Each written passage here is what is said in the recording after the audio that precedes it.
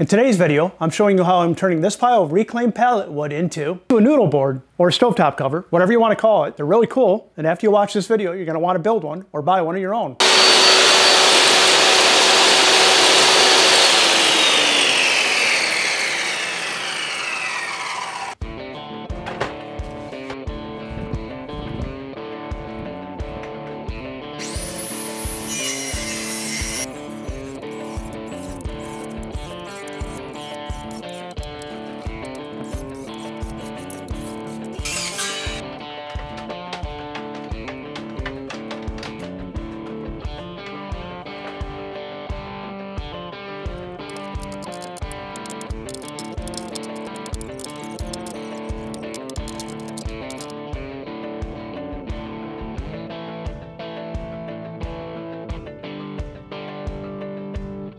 Not sure how much audio I've gotten from this whole thing. Just realized everything was turned off. But going back to it, uh, broke down a pallet. Uh, it was thrown out to the road, so it was free wood, price of lumber.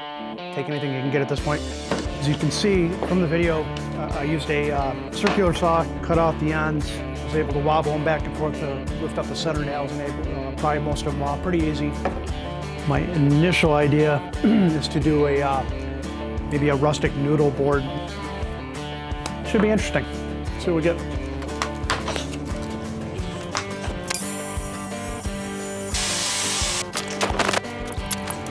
Not too shabby. Just a little bit of tweaks on the old uh, cutting jig.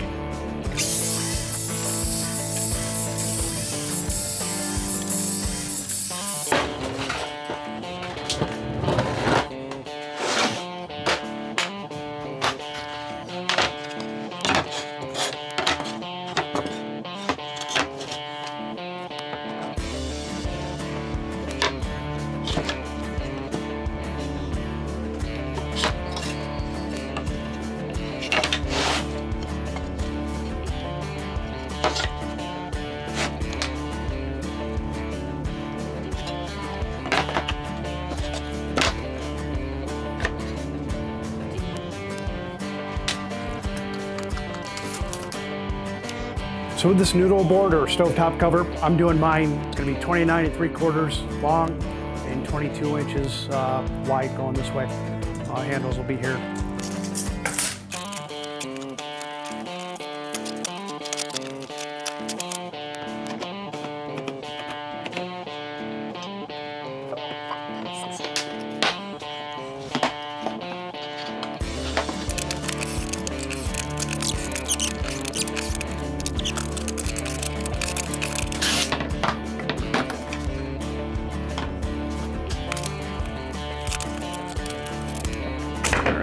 That didn't pop through the other side.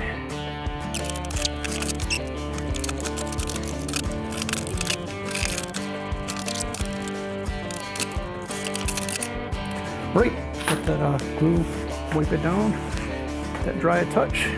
A lot to take down. So I'm gonna start out with 60 grit, see what that gets me.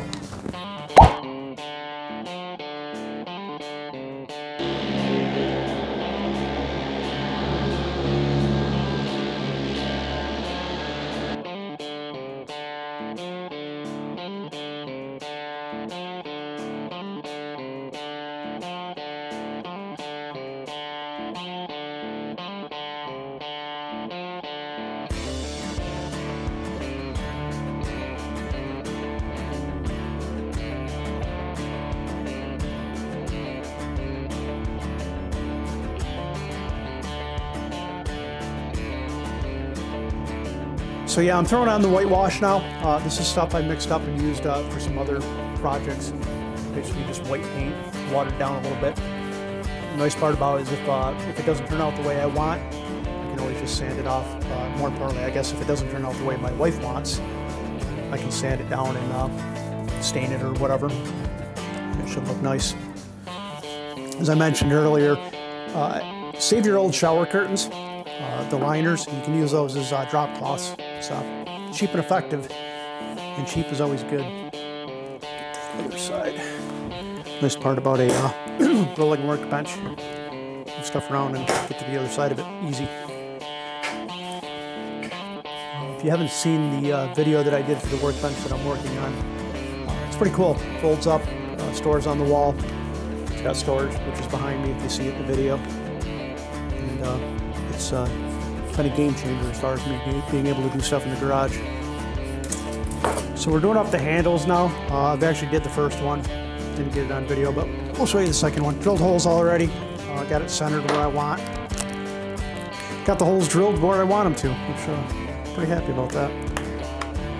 Should uh, go a little bit more sparing on the uh, wood glue because I'm sure it's going to leak out. And you don't want to have to try to sand that down after I already painted. Probably should have uh, planned this out a little bit better.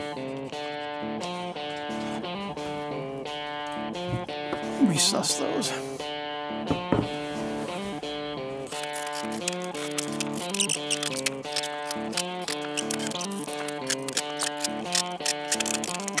there we go. It's uh, the old noodle board.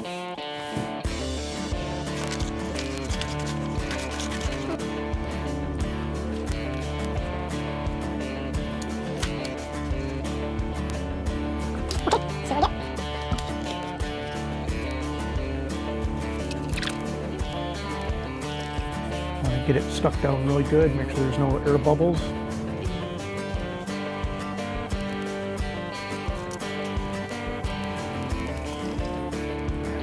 Come back with a uh, cloth and press those down even better. Definitely want to make sure that uh, whatever you're printing, whether it's a, a photo or what is uh, coated evenly over everything you want to transfer.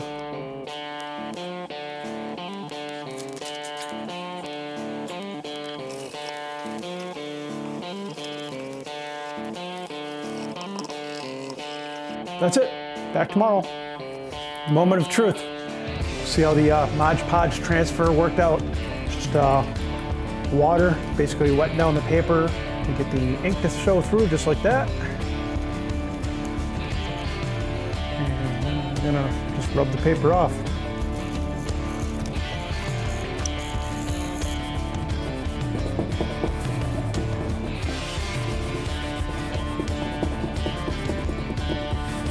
Trick is to uh, rub it just hard enough to get the paper off and not take the ink off with it. Okay, one coat of polyurethane is on. We'll let her dry and we'll come back and get it. Uh, yeah, looking pretty good so far.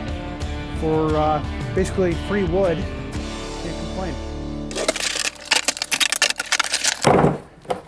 All right, my friends, that's the noodle board, a stovetop cover. It's not a difficult project to make. Uh, it's a great little space saver for our kitchen. I'm going to be really happy with the project and the wife will be pretty happy with that as well. Highly recommend building one of your own, but if you do build one or you go out and buy a noodle board or stovetop cover, be careful putting it on your stove. Don't put it on your stove. If your stove's running, you will burn your house down or start a fire and we all want to avoid that. Go ahead and hit that like button. If you do that, YouTube will recommend this video to more folks and more folks will be able to see it and hopefully get some value out of it. And I'd greatly appreciate it if you do that. Other than that, I want you to know one thing. Your couch sucks. It's time for you to get up, get on, Get out in your garage and do something epic, like build a noodle board. See ya.